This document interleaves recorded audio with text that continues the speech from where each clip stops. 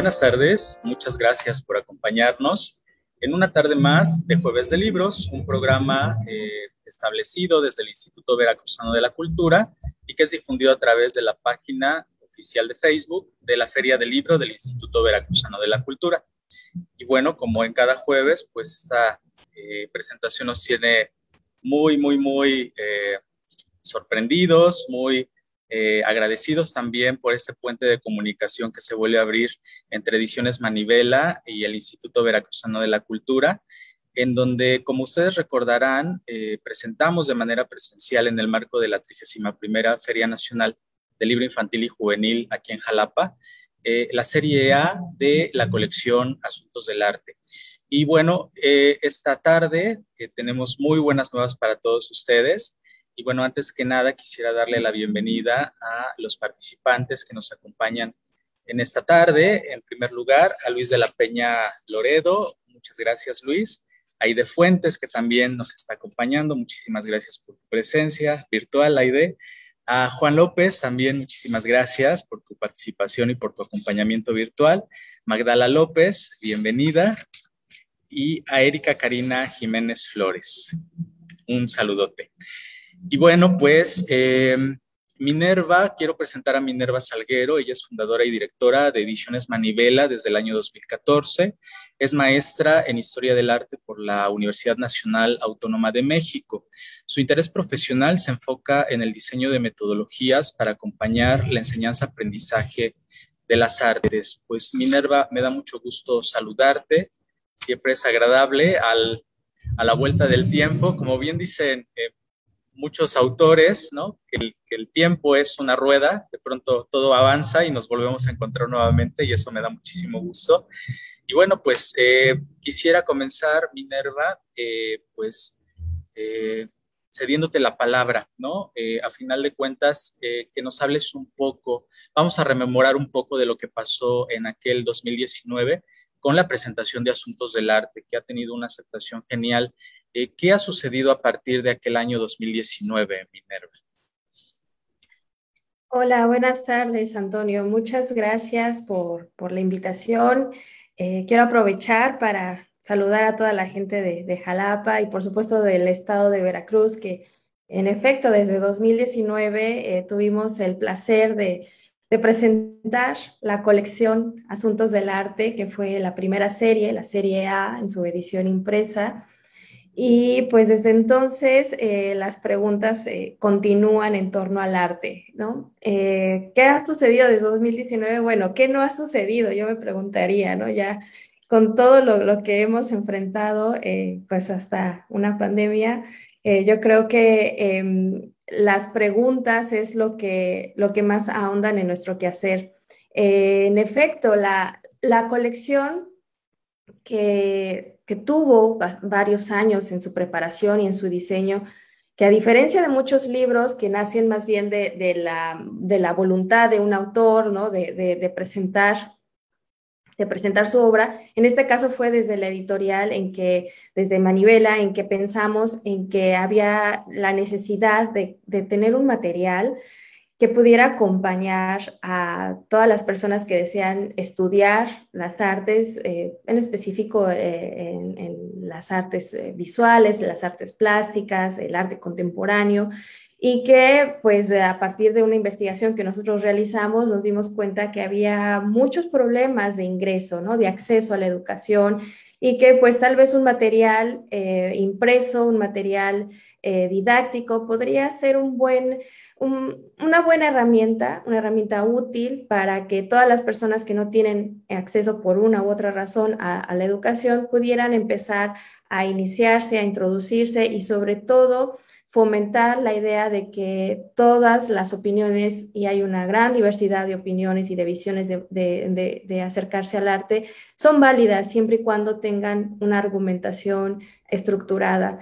Aquí lo que buscamos en Manivela no es dar una línea o dictar eh, cátedra, sino lo que buscamos es más bien mostrar ese abanico de, posibilidades, de que hay muchas maneras de ser artista, desde diferentes geografías, de diferentes tiempos, y que lo más importante como artista, eh, como las personas que quieren eh, formarse como artistas, es que tengan claro desde dónde están postulando su discurso, desde dónde están enfrentando las adversidades y desde dónde están planteando su, su profesión de ser artistas. Así que la primera colección, la primera serie fue, eh, tuvo ocho tomos y como se caracteriza eh, en asuntos del arte es a partir de preguntas, las preguntas que nos hemos hecho, que nos seguimos haciendo y que la humanidad se ha hecho también desde los principios de los tiempos, ¿no? En torno a la belleza, en torno al talento, a la genialidad, en torno a, a por ejemplo, en dónde, en dónde se encuentra el arte, dónde se exhibe, si todo el arte se tiene que, que resguardar y conservar. Por supuesto, la pregunta si el arte sirve para algo es algo, algo que nos ha, ha llamado la atención en, en, términos de humanidad, ¿no? No nada más a las personas que saben o no saben de arte. En general, eh, la razón del nombre Asuntos del Arte es que eso es lo que nos ocupa, ¿no? Como artistas, como ya sea como personas que nos encargamos en la gestión, en la divulgación, en la investigación, en la enseñanza, en la docencia, eh, son las preguntas que, que hacen de nuestro quehacer y que van marcando también nuestras posturas. Así que la, primera serie tuvo como objetivo ofrecer ese panorama de visiones, ¿no? A partir de ensayos, a partir de casos de estudio, que además están acompañados con mapas mentales o esquemas que, que permiten eh, plantear que la argumentación o la manera de estructurar un pensamiento también se puede hacer de una manera visual, de una manera gráfica. También creo que algo pertinente que mencionar de la colección es que está acompañada de un vocabulario, ya que, eh, bueno, seguramente todo, todas las personas estamos estaremos de acuerdo en que eh, muchas veces la especialidad de los términos, ¿no? ¿Qué, tan, tan especializado es ese discurso en torno al arte? Puede volverse confuso, sobre todo cuando no sabemos desde dónde se está empleando un término, por ejemplo, como el de expresión o sensibilidad o estética. Así que la colección, al ofrecer un vocabulario que es organizado y elaborado por los mismos autores y todas las personas que han colaborado en la, en la, en la colección, nos permite por lo menos delimitar, ¿no? Trazar márgenes, de decir, bueno, estoy entendiendo la belleza desde aquí o estoy entendiendo experiencia estética desde acá, ¿no? Y eh, también creo que otro, otro punto a favor de la colección es que ofrece una bibliografía comentada.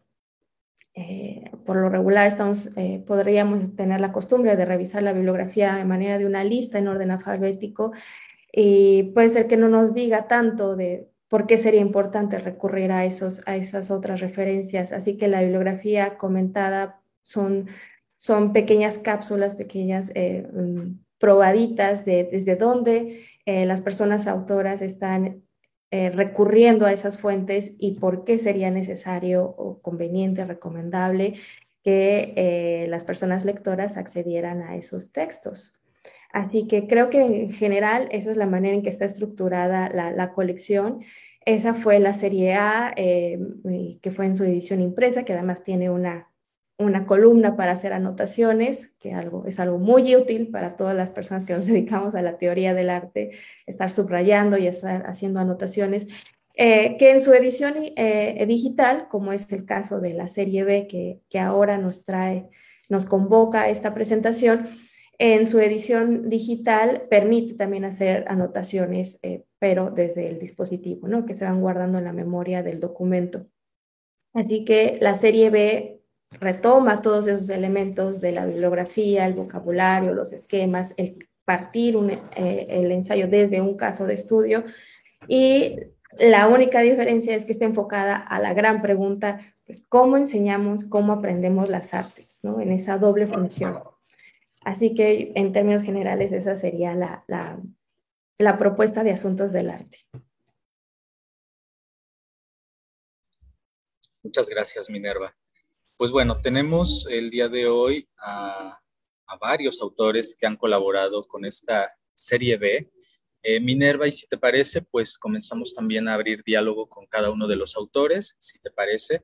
Hay algunas preguntas también propuestas por ti. Este, me gustaría, si gustas, eh, comenzar eh, con el orden ya propuesto, con Luis de la Peña Loredo. Y bueno, pues tú suelta las preguntas, lánzalas. Muchas gracias, Antonio. Claro que sí. Bueno, el día de hoy nos acompañan varias de las personas que forman parte de, estos tres ejes de la serie B. El primer eje se enfoca a hacer una revisión histórica de cómo ha sido la educación artística en México. Eh, tenemos la, fortuna de contar con, Luis de la Peña y Aide Fuentes. Y a mí lo que me gustaría eh, preguntarte, Luis, bueno, que en realidad les voy a preguntar a todos, es que nos hablen acerca del caso de estudio que eligieron, para abordar esta pregunta sobre cómo aprendemos y, enseñamos las artes. Y recuerdo, Luis, que tú tomaste el caso de las escuelas de pintura al aire libre. Entonces, pues, por favor, cuéntanos un poquito cuál fue esa experiencia en tu ensayo.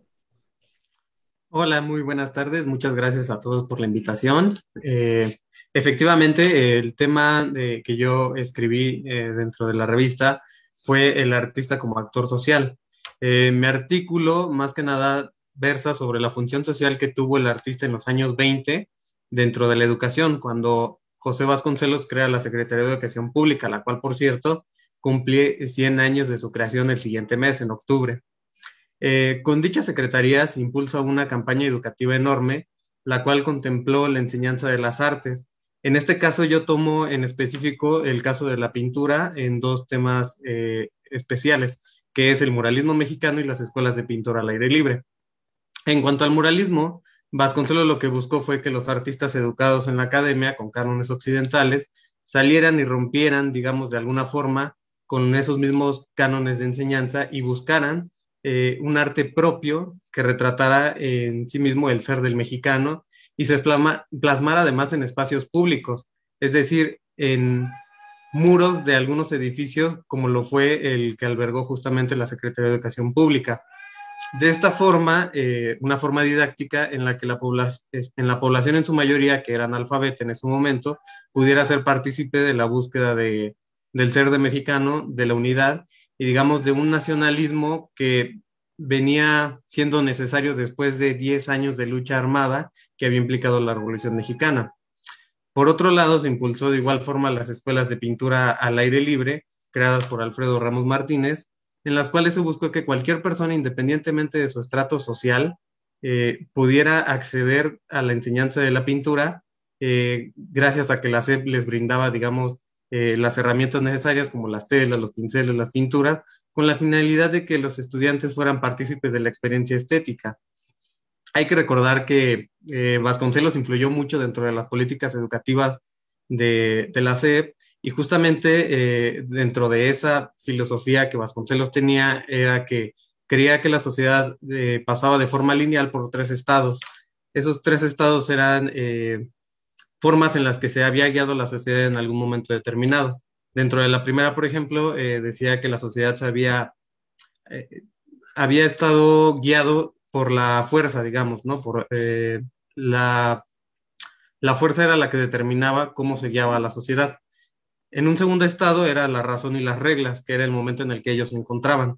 Mientras que el tercer estado que buscaba justamente era que la sociedad se guiara a través de la estética y que las personas encontraran una convivencia armoniosa a través de lo que era la belleza que podía brindar las artes. Entonces, en ese sentido, tanto eh, con el muralismo mexicano como con las escuelas de pintura al aire libre, lo que buscaba Vasconcelos a través de la SEP era sí crear un sentimiento de nacionalismo, pero a la vez también una forma de convivencia social que, que, digamos, establecer una paz después de un momento histórico como la Revolución Mexicana que había causado determinado eh, destrucción, eh, diezmación de la población, etcétera. Entonces, en ese sentido, podríamos decir que Vasconcelos lo que le da a las artes y a los artistas y a la educación en general es un propósito como tal, ¿no? Digamos, dentro de este contexto histórico. Y eso más o menos es lo que abordo, digamos, dentro de mi propio eh, artículo. Muchas gracias, Luis. Sí, eh, en, efecto, el eje 1 eh, de la serie B tiene como objetivo tomar momentos específicos de la historia de la educación artística en México y revisarlos, ¿no? Como tal, lo que nosotros lo escribimos, la grafía que es con un guion es revisiones, es volver a ver el pasado. Sabemos que contamos con una larga historia de, de, de cómo se ha conformado nuestras academias y nuestro sistema de educación, pero siempre es bueno volver a verlo para ver qué es lo que quedó a lo mejor inconcluso o cuáles son los discursos que predominaron en cierto momento. Y el ensayo de Luis nos permite acercarnos a lo que en su momento fue el programa de educación de Vasconcelos y en específico la, educación del arte eh, en el periodo de Vasconcelos. Eh, en el caso de Aide, por ejemplo, eh, ella tiene su ensayo que se titula Las artes sufren bullying en la escuela, que además es muy, muy, con mucho humor, ella aborda la parte en que cómo han sido relegadas las, las artes en los programas de estudio, ¿no? Entonces, pues a mí me gustaría eh, que Aide, por favor, nos contaras esta perspectiva, ¿no? Que desde pensar cómo, si han sido o no relegadas las artes en, los planes de estudio, eh, que también haces un recuento desde, desde Vasconcelos, Em, hasta llegar a nuestros días, hasta la, última fallida eh, reforma educativa. Eh, ¿Cuál ha sido tu, perspectiva ¿no? de tomar este caso de estudio para hablar sobre cuál es el estatuto de la educación artística? Bueno, hola a todos. Eh, sí, efectivamente, como comenta Minerva, yo lo que hice fue un pequeño viaje con respecto a cómo, cómo han sido pensados eh, dos conceptos, eh, que es lo que es la, actividad artística y la cultura, ¿no? Que bueno, eh, ha sido diferente en cada momento de la historia. Yo lo que hice en mi ensayo fue revisar pues cuatro casos de estudio. Primero fueron las misiones culturales de Vasconcelos, posteriormente fue un programa que se hizo que fue el Plan de Actividades Culturales de Apoyo a la Educación Artística, o PACAEP, después las escuelas de iniciación artística por parte del INBA y ya posteriormente, ya en el 2017, em, un nuevo programa educativo que se llamaba Tu Cultura en tu Escuela, ¿no? Y pues básicamente lo que vamos descubriendo en el ensayo es que em, al principio, justo con, con Vasconcelos, eh, la cultura, siempre, el arte y la cultura siempre fueron como una, una, bueno, no un pretexto, pero una herramienta para poder eh, hacer como una cohesión social o, un, o resarcir un poco el tejido social que había estado un poco, este, no, que había estado muy lastimado por la parte de la Revolución Mexicana y en este trabajo por la identidad, por construir lo que es lo mexicano, la, eh, para Vasconcelos es muy importante este promoción de la cultura, ¿no? Entonces, sin embargo, eh, viendo un poquito cómo funcionaba esta, eh, estas misiones culturales, eh, podemos entender que para Vasconcelos la cultura abarcaba todo, desde el cuidado de los niños hasta cuestiones como talabartería, jabonería, o sea, para hacer jabones, y sí una parte de lo que, lo que ahora consideramos arte, eh, solamente en la cuestión musical, en los coros, en algunas tipos como pequeñas orquestas. entonces, así es como lo, entiende un poquito, bueno, Vasconcelos como esta esta herramienta para hacer comunidad. Ya posteriormente con el PACAEP fue como una parte de este, herramientas del arte para ayudar al docente a dar mejor sus clases. Entonces, el arte está al servicio de la educación, pero solamente como una herramienta pedagógica este, o de docencia, ¿no? Pues, y después ya sigue como esta este cuestión de que la educación artística solamente es para crear artistas y es donde entran las escuelas de iniciación artística por parte del IMBA, que todavía siguen, eh, pero aquí todavía, todavía, está como esta idea de eh, vamos a educar a la gente en cuestiones artísticas para que sean ejecutantes de una disciplina. Y ya posteriormente con el programa de cultura en tu escuela, como que intentaban que la educación artística fuera ya parte de una currícula, eh, como tal bien establecida en, los programas educativos de, la SEP.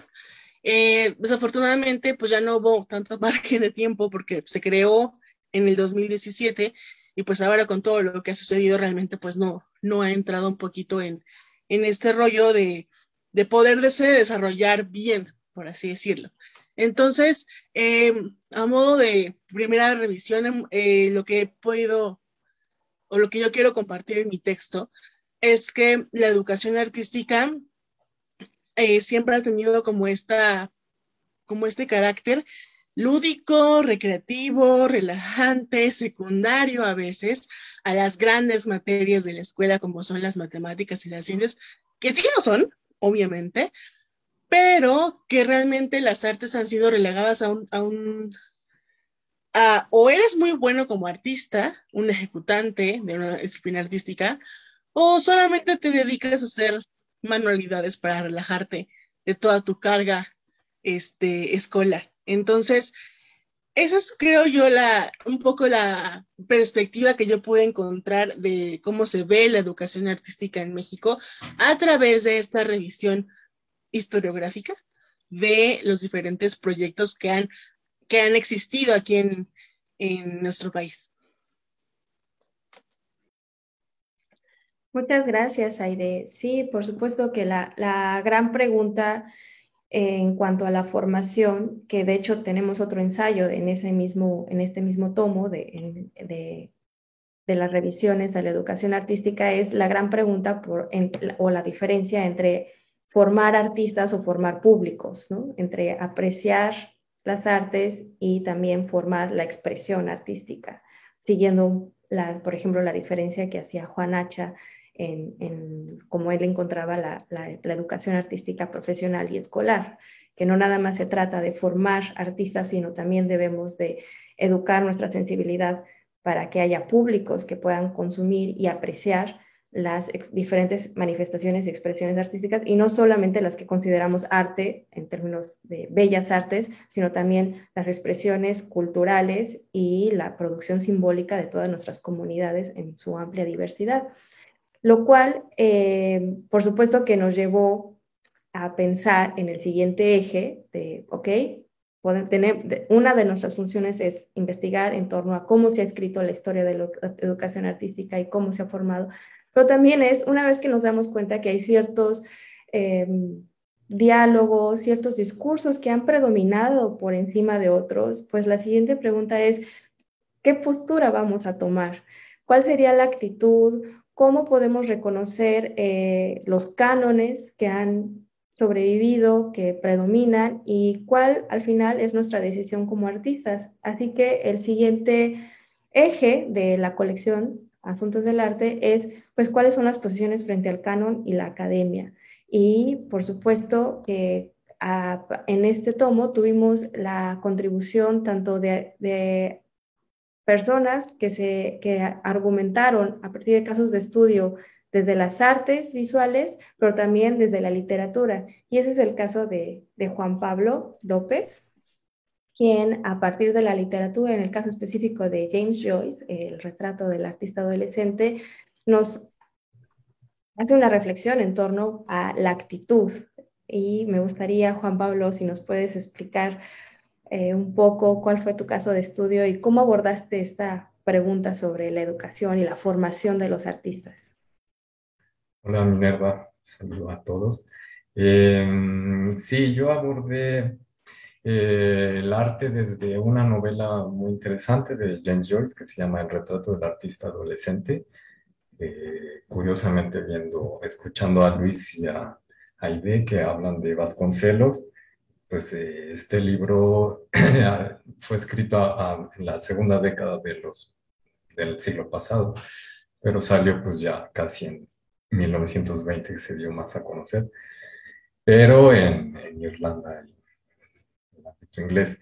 Eh, esta novela me parece bien interesante porque, mm, pues tal como el, libro, el título lo señala, pues se trata de trazar eh, un artista en su periodo de formación, ¿no? La adolescencia.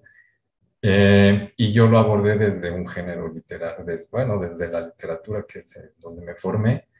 Eh, literatura, un género muy exitoso hasta la fecha, se llama Bildungsroman o novelas de formación, es un término alemán. eh, digo exitoso porque, por ejemplo, Harry Potter hace parte de ese género a su medida, pero este género, pues igual que el Harry Potter o igual que el retrato del artista adolescente, trata de la formación de, de la personalidad y de la individualidad del protagonista.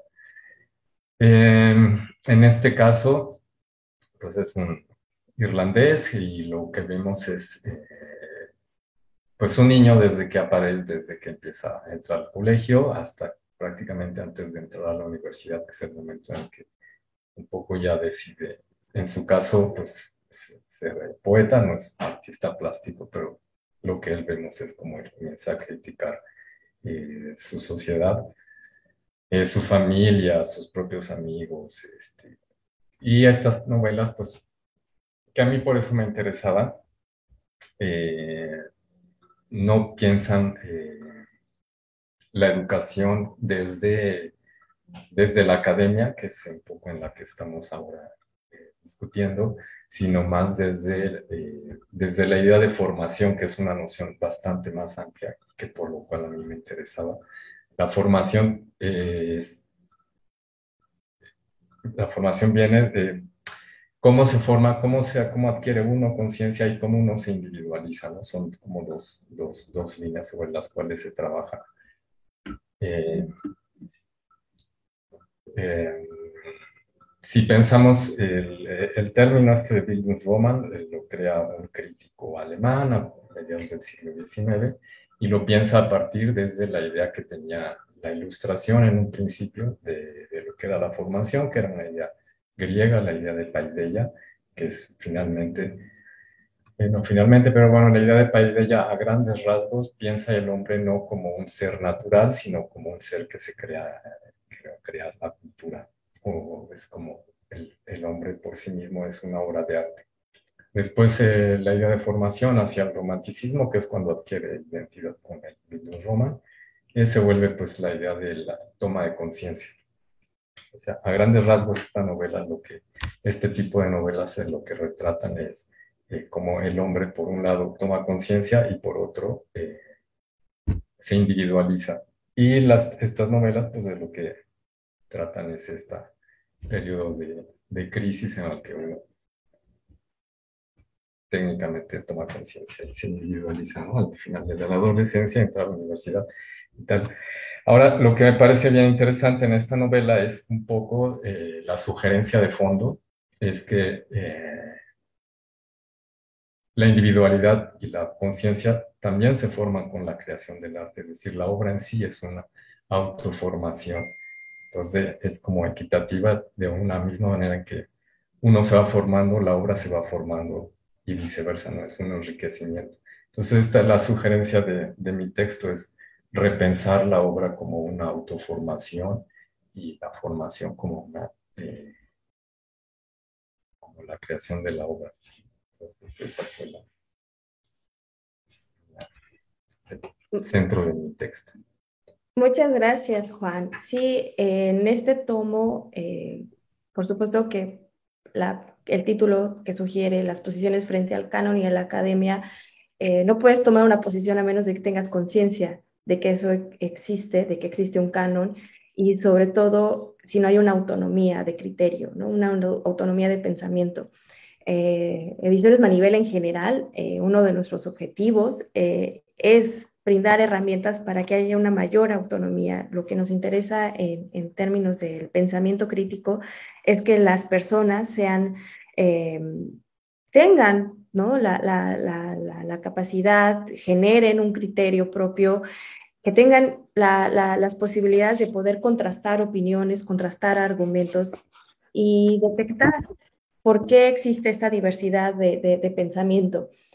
Eh, la autonomía para nosotros es eso, tener, tomar conciencia de tu individualidad, de tu diferencia y sobre todo de cómo te insertas o cómo formas parte de, los discursos que están, que están circulando, en nuestro caso, en el mundo artístico. Eh, así que en este eje también podrán encontrar, por ejemplo, el ensayo de Bárbara eh, Curiel, que nos, nos, su título es ¿Y qué pasa si no lees los libros que debes leer antes de morir? ¿no? Esta, este atrevimiento de decir, bueno, ¿y qué pasa si no estudio donde en la academia? ¿Me puedo formar como artista si no formo parte de una academia? Eh, por ejemplo, el, ensayo de, Andrea Cuevas, el que se titula ¿Cómo no ver arte? habla precisamente de todos los consejos que siempre nos dicen de cómo debemos observar una obra de arte. Dice, bueno, ¿y qué pasa si nos relajamos y mejor tenemos una experiencia con la obra? Eh, si adquirimos una conciencia también de, nosotros frente a esta obra y no lo que debemos entender en una obra de arte. Y también el ensayo de, de Erika Ruiz, ella también lo toma desde, desde la literatura con el texto del guardagujas de Juan José Arreola y la visión de, la, de ser autodidacta. Así que bueno, en este eje encontrarán varios ensayos en torno la formación de los artistas, a diferencia del eje 1, que tiene que ver más bien con la enseñanza o la escolarización de las artes. Y bueno, para pasar al siguiente eje, eh, Antonio, por favor, tú dime si vamos bien de tiempo.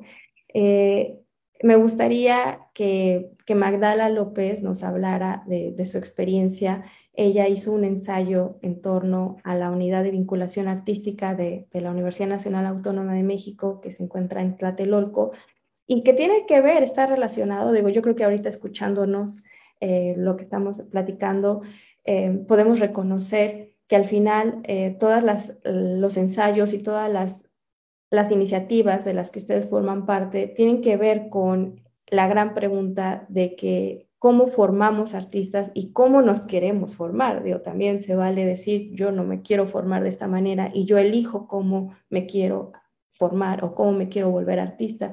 Y creo que el texto de Magdala y posterior el texto de Erika también nos van a hablar respecto a esto. Entonces, por favor, Magdala.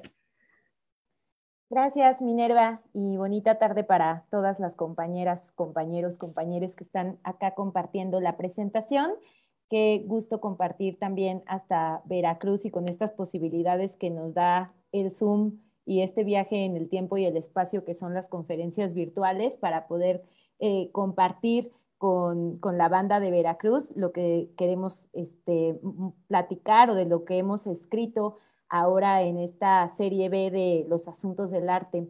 Entonces, como bien mencionaba Minerva, mi texto habla sobre la unidad de vinculación artística que es una escuela no escuela dentro del Centro Cultural Universitario Tlatelolco. Somos un espacio que pertenecemos a la UNAM y que nos encargamos de impartir talleres de distintas disciplinas para públicos de todos tipos, edades, con intereses, lugares de procedencia distintos y que justamente eh, atiende a muchas de las personas que en los años escolares se quedaron con esa espinita de quiero estudiar algo relacionado con el arte. Y muchas veces, eh, así inicia mi ensayo, la decisión de estudiar arte no es una decisión sencilla. Hay que sortear muchos prejuicios que vienen desde la familia, como de eso no vas a, vivir, te vas a morir de hambre, mucho que tiene que ver con la precarización en la que los artistas y los gestores culturales nos desenvolvemos, como que tenemos que tener tres trabajos al mismo tiempo de nuestra labor artística para poder pagar la renta y vivir con nuestros servicios, y otros, pues que no sé, no nos creemos lo suficientemente buenos o, o que nos dijeron que los artistas, bueno, son unos genios con un talento que Dios les a unos cuantos y que tal vez estamos al margen de eso. Entonces la UBA justamente trata de romper con todos esos prejuicios, que todas las personas que en algún momento quisieron estudiar algo relacionado con el arte puedan encontrar un espacio seguro en el que puedan darle rienda suelta a la expresión creativa. Y también trabajamos con muchas niñas y niños que son sus primeros acercamientos. Entonces, eh, la idea de la UBA es un espacio de educación no formal, aunque pertenece a la UNAM, como ya les comentaba, no es una escuela, no es una facultad que tenga un programa o un currículum cerrado, que, tenga que cumplir con cierta seriación, es decir, después de guitarra 1 tienes que tomar guitarra 2 o primero acordes y lectura y solfeo, sino que aquí es un proceso un poco más abierto que funciona como una alternativa y un complemento. En el marco de la definición de educación no formal, la UNESCO nos habla de eso, de programas, proyectos educativos que se establecen para complementar o ser una alternativa de formación, como mencionaba eh, Juan López, mi tocayo de apellido, que nos permitan trabajar temas específicos. En este caso, en Tlatelolco, trabajamos mucho la construcción de comunidad. Si a través del arte, de lo que aprendemos al interior de los talleres, podemos eh, integrarnos de una manera distinta, podemos eh, relacionarnos a partir de la empatía, de la solidaridad, todos estos principios utópicos que nos mm, interesa eh, poner en tela de juicio para eh, formar una comunidad, para construir una comunidad. Entonces, bueno, el, ensayo que yo les comparto en esta serie expone el caso de la unidad de vinculación artística, habla un poco más acerca de las diferencias entre la educación academizada y espacios como la UBA, que también, bueno, pues no es el único en su, no, no es el único de su naturaleza, no hay muchos ejemplos a lo largo de todo el país, en la ciudad, que tienen esta oferta de talleres y que se convierten ya sea en una alternativa para no quedarse con la espinita de estudiar algo relacionado con el arte o que en algunos casos también para las compañeras y compañeros que van egresando de las escuelas profesionales de arte, pues es un espacio donde ellos pueden seguir practicando, seguir ensayando. Y también algo muy importante que, que tenemos en la UBA, pues es un espacio de reflexión en torno a los talleres artísticos. Ya nos hablaba Luis que, y bueno, en la primera parte de esta serie, pues pueden hablar de cuál ha sido la tradición de la enseñanza de las artes en nuestro país. Y los talleres tienen una eh, una línea histórica muy particular, es como que el espacio por definición donde se, donde se enseña y se aprende arte, ¿no? Eh, ya después se fue dando forma a las escuelas, ahora a las facultades y los institutos, pero los primeros procesos eh, de formación artística tenían que ver con esta, esta eh, naturaleza del taller, donde se aprende haciendo, donde la práctica está acompañada de la teoría, donde aprendes mucho mirando a, los otros, a los que te acompañan en el proceso, y donde el proceso educativo justamente se va moldeando con base en los intereses de los participantes. Entonces, eh, le agradezco mucho a Minerva la invitación para contribuir con este ensayo y ojalá que nos puedan eh, leer y que les metamos la espinita y la curiosidad por estos textos que ahora les estamos compartiendo. Muchas gracias, Magdala. Sí, sí, sí. Esperemos seguir difundiendo eh, que hay otras maneras de enseñar, hay otras maneras de aprender y el caso de la uva eh, es muy em, bueno para, para hablar de que sí es posible. Ah, algo que a mí me llamó mucho la atención cuando tú me contabas del caso es de que, de que ustedes hacen un sondeo en la comunidad de Tlatelolco para preguntar qué es lo que les interesa aprender y a partir de ahí hacer su programación. Y yo me pregunto, ¿no? O sea, ¿cuántas veces en las escuelas de arte digo, entiendo que es otro modelo, entiendo que es otra manera de, de estructurar las clases, pero yo no recuerdo cuando fui estudiante de arte que alguien me haya preguntado si quería aprender, si quería, eso era lo que yo quería estudiar o, o lo quiera, ¿no? Decir, bueno, entonces, ¿qué es lo que quieres aprender, ¿no? Eh, creo que eso es algo muy importante, tomar en cuenta el interés y, y, la voluntad de precisamente de las personas a las que vas a formar. Eh, así que me gustaría eh, pasar ahora con Erika, si nos pudieras comentar sobre el caso que tú tomaste, que me parece que es el de eh, los talleres de textiles, eh, en el caso del faro de Tláhuac, y también creo que tú habrás ahora escuchado que tiene que ver también con una postura, una postura frente a, a la educación formal y también a lo que se enseña en las academias. Entonces, bueno, Erika, yo sé que eres Erika Flores, pero bueno, ahora veo que es Erika Xochime, porque Xochime es es flores en plural, así que bienvenida. Sí, muchas gracias. Buena tarde a todos y a todas, a todos. Eh, pues sí, muchas gracias, este, Mine, por, por introducir un poquito. Sí, pues básicamente el, el, el espacio en donde se ha construido pues este, este ensayo, esta reflexión, la agradezco mucho porque justo a veces hacemos y sentarnos a escribir y como a reflexionar de dónde y cómo ha venido, pues es algo que, que se debería hacer más, pienso, como para poder ir eh, vaciando estas reflexiones que, pues que se van haciendo presentes, pero como que se quedan ahí a veces nada más en el camino. Entonces, si bien el espacio es la fábrica de artes y oficios, eh, conocida como Faro, eh, pues tiene varias sedes, ¿no? En la, en la Ciudad de México y pues la historia es, este, se remonta hace 21 años ya, en el oriente de la Ciudad de México. Y bueno, aquí es interesante porque justo una de, la, de las cuestiones por las que yo me acerqué es porque tiene como objetivos la, descentralización ¿no? de las prácticas artísticas y del arte mismo.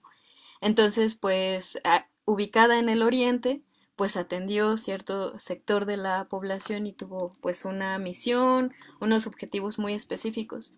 Posterior a eso, pues ya surgió la Faro Milpalta y la Faro Tláhuac y como tal la Faro que está ubicada pues en los límites digamos como pues de Tláhuac, pero también eh, hay aquí como que se entiende el territorio un poco desde los, los espacios naturales, ¿no? Y hay un volcán inactivo que se llama Teutli, que es la división geográfica natural de Milpalta, Tláhuac y Xochimilco.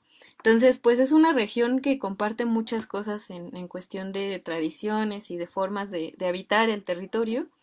Y bueno, este espacio de la Faro está ubicado justo al lado de la, del área natural protegida de Xochimilco y los ejidos de Tláhuac también. Entonces, pues hay una misión ahí también hacia lo ecológico, pero pues vinculada con la, con la población, con la comunidad, ¿no?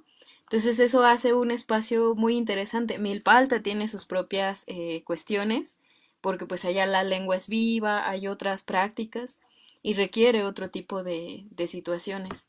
Entonces, en este caso de la Faro Tláhuac, yo me siento muy afortunada de que hay esta apertura a las propuestas y sobre todo que mi hogar, bueno, mi casa, su casa, está a espaldas, o sea, lo que nos divide justo es esta zona eh, de conservación ecológica y que yo también me preguntaba cuántos espacios hay en estas localidades donde se pueda ejercer, ¿no? Los derechos culturales que ahora están puestos sobre la mesa, pero antes no se hablaba de eso. O sea, como que algunas personas eran las que podían ir a las escuelas de arte y otras tantas podían ejercerlo en su espacio de ocio, ¿no? Y entonces, pues estas eh, fábricas de artes y oficios justo lo que aperturan es esta posibilidad a que en las zonas donde no hay este, no, no hay estos espacios o, esta um, cuestión de, ir a un, lugar a hacer alguna actividad, pues que se pudiera. Entonces ha sido muy interesante porque uno, un, un espacio que se ha construido muy lindo, eh, pues ha sido precisamente este que tiene que ver con la parte ecológica. Hay un montón de personas que van, pero pues también eh, la gente, sobre todo el, el público que, que acompaña el taller, pues son mujeres, ¿no? Mujeres eh, que son, que, que, trabajan en, su, en sus hogares y mujeres este, retiradas, ¿no? Que ya están jubiladas. Entonces también, ¿no? Se abre otra pregunta. Yo he estado piense y piense últimamente a partir, a propósito de este ensayo, eh, pues, ¿qué, qué pasa con, con esa población también, ¿no? O sea, que siempre casi es a un cierto tipo de población a quien se dirigen eh, los talleres y hay un, un, un, vacío. Entonces ellas llegan, habitan el taller, eh, par participan y a partir de ello es que empiezan a existir, pues no es como un, no es rígido en realidad, pero sí hay una pequeña metodología que pues me inventé. Realmente que también eso es interesante, que pues no, no, no es que alguien te diga cómo vas a hacer el taller, ¿no? Eh, sí te van acompañando, en este caso la coordinadora de talleres Montserrat Landeros y el líder coordinador Alejandro Ringón, pues me fueron acompañando, pero definitivamente ahorita lo que decía, eh, compartía Magdala, pues es que se ha ido construyendo a partir de las necesidades de ellas, ¿no? Queremos hacer esto, tenemos este evento, quisiéramos así, ¿no? entonces, pues a partir de eso, cada trimestre es que se van generando eh, los módulos y un poquito esto es lo que, lo que se habla en el, en el ensayo y frente a esto que este, este tipo de manera de hacer no dentro de las academias pues no existe, ¿no? Pues recientemente en la Esmeralda ya tienen su taller de textiles, pero en la facultad donde yo estudié no hay, ¿no? Y está recio el, el asunto de no querer, ¿no? Entonces, ahí como que también se abre otra posibilidad. En realidad hay como varios puntos eh, de análisis, reflexión, y pues se invita, ¿no? A, a, las personas que, que, lean el texto, pues a, a compartir también y repensar ahora que la política pública pues va justo, ¿no? Por la creación de estos espacios en ciertos eh, lugares específicos de la Ciudad de México y que entonces cómo vamos a ir compartiendo herramientas, ¿no? De este espacio que ya tiene 20 años existiendo y cómo vamos a ir hilvanando nuestras experiencias para que justo las personas que se acerquen pues tengan una experiencia satisfactoria y que no se sientan ni limitados, ni discriminados, ni, ni que sientan que no es su espacio, ¿no? Porque luego también eso este, ocurre. Entonces eso es como, como algo que, que ha tomado tiempo. La Faro Tláhuac ya tiene 15 años y hay grandes personas ahí construyéndola. Entonces, un poquito de, de eso va el, el ensayo. Hay cosas que ya no he puesto porque a la distancia es que he pensado, híjole, esto hubiera estado bien padre, pero pues ya, ya tocará por mi cuenta eh, ir haciendo este más y juntarnos entre otras personas para poder este seguir generando estos espacios que son bien interesantes. Y bueno eso es lo que lo que puedo compartir. Muchas gracias este Mine y, a todos y a todas Muchas gracias, Erika. No, no eres la única que se queda con ganas de seguir escribiendo. Y pues para eso está Ediciones Manivela, para escribir más números, sobre todo, todo todos los temas que se quedan pendientes eh, por supuesto, la edición eh, de esta serie ha sido eh, en formato digital, que, bueno, como adelanto, les puedo decir que sí va a haber una edición muy limitada en edición impresa, también porque sabemos que no todos tienen acceso a Internet y no hay manera de, garantizar un acceso a menos de que uno garantice que está disponible en todos los formatos. Pero por supuesto que va a haber más, más tomos y, y se, seguirán eh, seguirá la invitación para que continuemos la reflexión. Ese es el objetivo de la serie B, es plantear la pregunta, ofrecer las respuestas a partir de casos específicos y esto ha sido una probadita de lo que muestra la serie B que como podremos ver en torno a la pregunta cómo enseñar, cómo aprender, podemos agregarle, bueno, y, también cómo formar o cómo escolarizar, cómo diseñar programas pedagógicos, pero también podemos hablar de, mediación, de formación de públicos, de apreciación, expresión, y vamos viendo que hay muchos matices y muchas maneras de transmitir al final y compartir los saberes, ¿no? Tradicionales, académicos, canónicos, hasta todos aquellos que, que se están formando en otras comunidades. Así que bueno, Antonio, esta es una probadita, tú dime qué más te interesa saber. Muchas gracias, Minerva. Pues gracias a todos ustedes por sus intervenciones. Eh, de verdad que pues nos dejan con, mucha curiosidad. Eh, se establecen muchísimos vasos comunicantes. Eh, el arte es un concepto enorme. de pronto a mí me causa también ese sentido de, de indecisión, eh, el concepto, eh, al igual que cultura, ¿no? Son, son, son, dos conceptos que de pronto son tan grandes que eh, ¿cómo, cómo, cómo, cómo, cómo te echas un clavado, ¿no? En, conceptos como estos. Sí, creo que Asuntos del Arte es, es, es un gran contenedor. Ahora mencionabas con el comentario de Erika, que bueno, puede y, ya está abierta la posibilidad de seguir integrando eh, participaciones y colaboraciones a los siguientes números. Entonces me parece espléndido porque eh, si bien la serie A, a mi parecer, eh, se va mucho más por temas y preguntas en ese sentido canónicas, creo que la serie B comienza a esbozar también un camino eh, bastante interesante, porque ahora ya vimos que comulga de pronto con proyectos, con diferentes proyectos que se gestan en instituciones, eh, y en el caso, el último, el de Erika, pues que eh, va de la mano también con la tradición. Entonces es muy interesante pues conocer estas reflexiones que también van muy de la mano con la gestión cultural. Entonces yo simplemente agradecer, que me me quedan muchas dudas, pero eh, sobre todo eh, para los, seguidores que siguen la transmisión Minerva, ¿de qué manera se pueden acercar a Ediciones Manivela? Si de pronto alguien dice, bueno, yo, yo tengo un proyecto, a lo mejor tengo un artículo o he escrito al respecto de algún tema que puede ser de interés, eh, o bien los lectores que quieran saber dónde encontrar los ejemplares de, de asuntos del arte, tanto los, los impresos como las versiones digitales, en donde pueden eh, acercarse a, qué dirección, a qué redes sociales. Claro, sí, por supuesto que estamos eh, con un gran interés de, conocer quiénes están escribiendo, quiénes están reflexionando en torno a las artes. Eh, uno de nuestros objetivos es ese, ser una plataforma para difundir a la investigación de, personas que están recién egresando de posgrados o que de manera autodidacta han construido un saber y que quieren compartirlo. Así que, eh, por supuesto que nos pueden encontrar, eh, tenemos una página web que es edicionesmanivela.com, que seguro podemos también ponerlo en los links en, en esta plataforma. Y también eh, los libros, eh, bueno, hay una distribución en librerías, están en el sótano, en la Ciudad de México y en algunas otras ciudades de, de la República como Guadalajara, Querétaro, Puebla.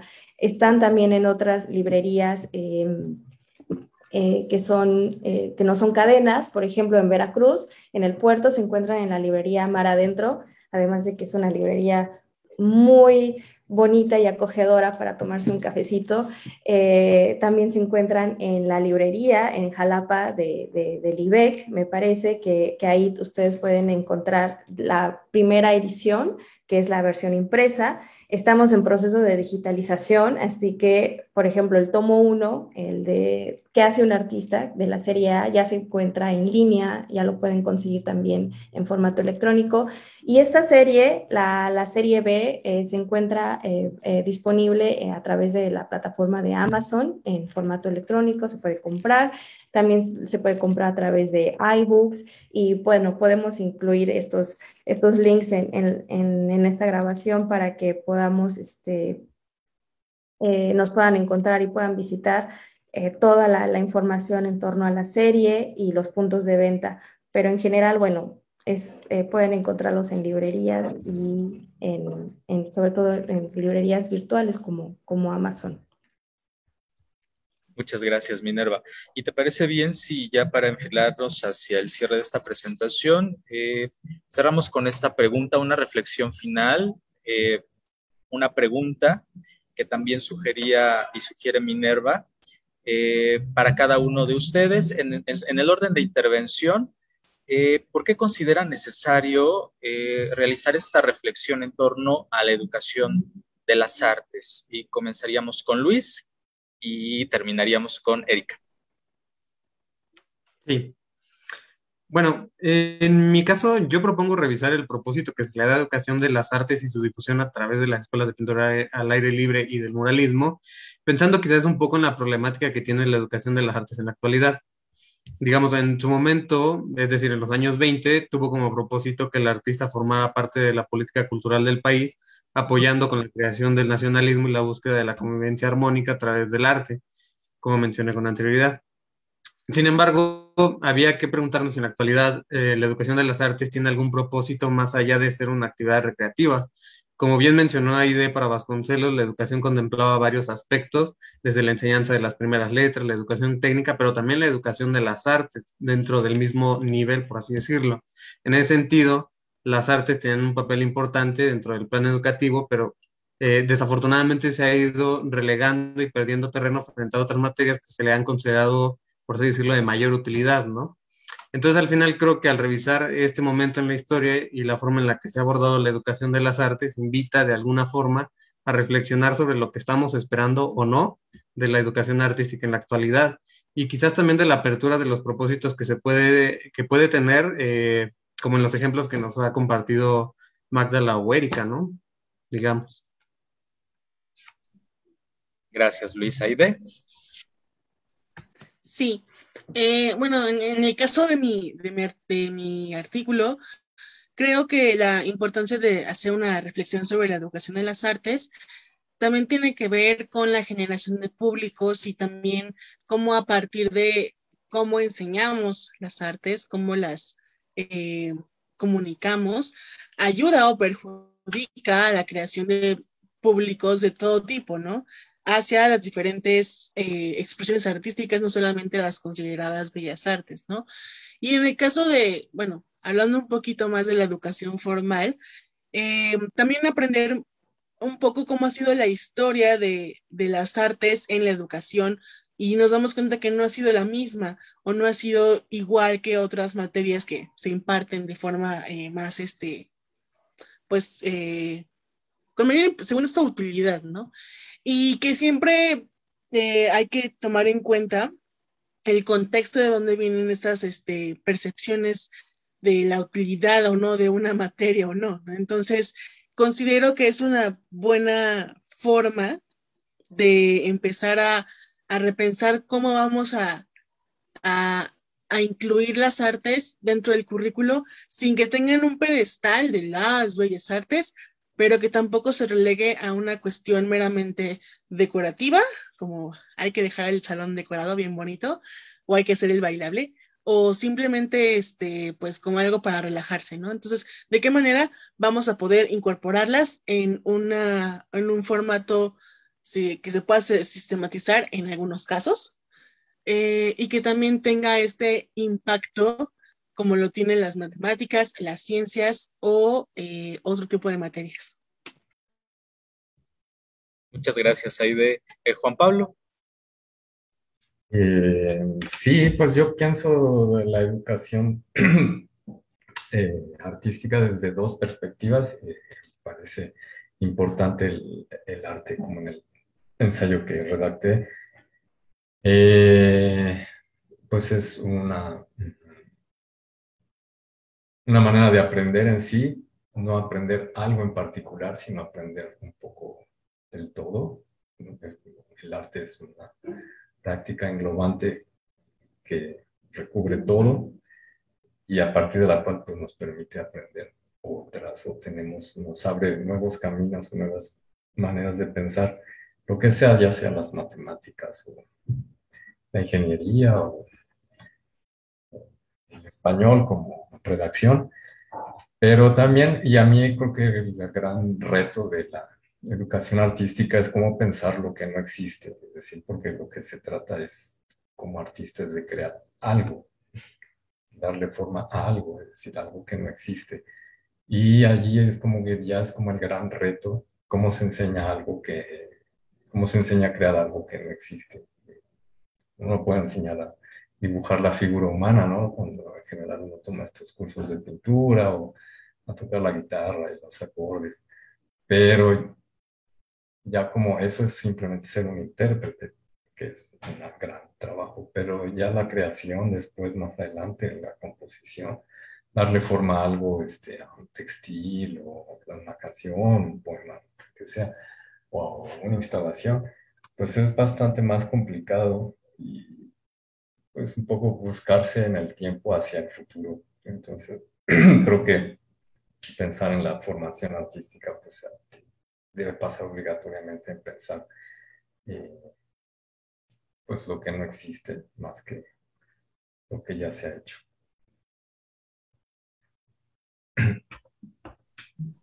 Muchas gracias, Juan Pablo. Eh, Magdala.